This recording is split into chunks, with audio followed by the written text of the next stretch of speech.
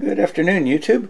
Had this package show up the other day. Okay, I think this one's from AliExpress. On the outside, Wi-Fi eBox is what it says. Yeah, there we go.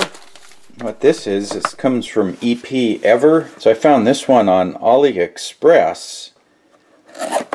And it's supposedly a little uh, Wi-Fi serial server. And the idea is you plug this in to the RS485 connector on your uh, charge controller. And then this one you plug in here. So it's just got a what's that an RJ45 connector.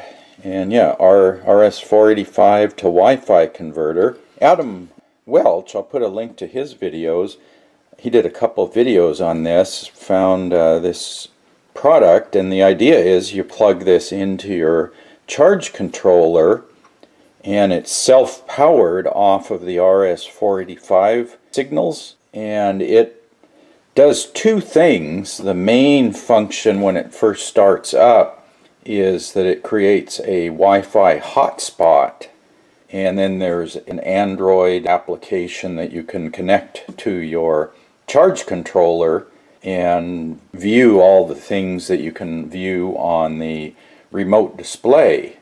So this takes the place of the remote display on the unit. But then Adam also found a way to get into the web server and then just switch this over and make this Wi-Fi converter log into your local Wi-Fi network. This device becomes an IP address on your local network and then you can use some software that convert the Wi-Fi serial port into a COM port on your PC that you can then feed into the EPEver solar charge controller software that I demonstrated earlier.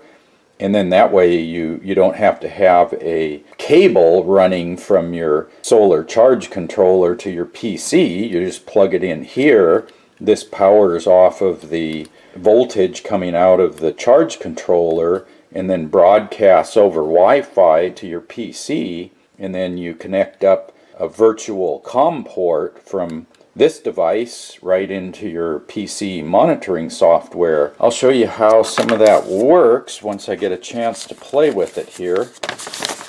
Yeah, so here's the uh, product intro. So there are other RS485 to Wi-Fi adapters, but they all need external power. So this one was kind of neat.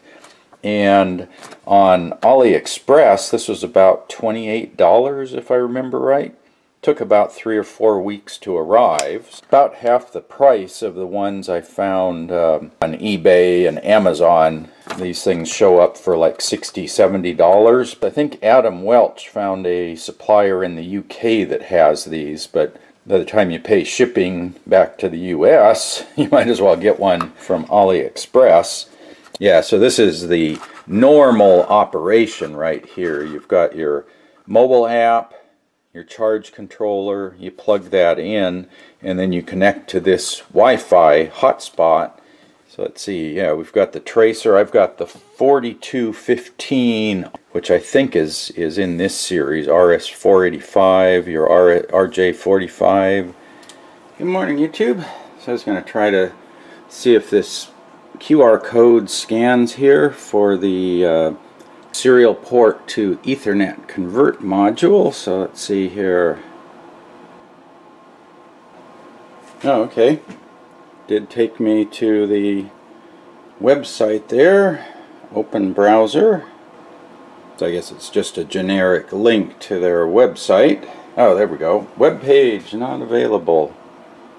So yeah, on Adam Welch's video, he was mentioning this epsolarpv.com. So apparently their URL there is not correct. Okay, so I went to their tech support page on the, this is on the epsolarpv.com site.